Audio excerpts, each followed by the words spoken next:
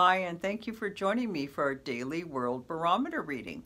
This reading is for November 6th, and I'm reminding everybody to that's in the United States of America to get out and vote today. It is our duty as a citizen of a country that is about democracy and about getting out and making a difference by going out and voting. I'm at the voting booths and I would love to have everyone out there doing their bit today.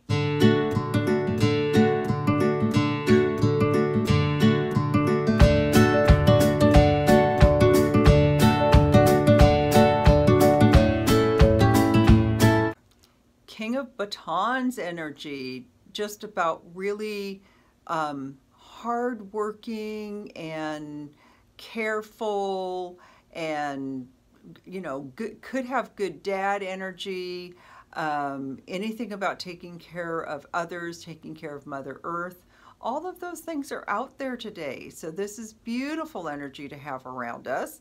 So let's get out and do something to make it nice for someone else to work hard and have value for our effort. Thanks for joining me. Bye for now.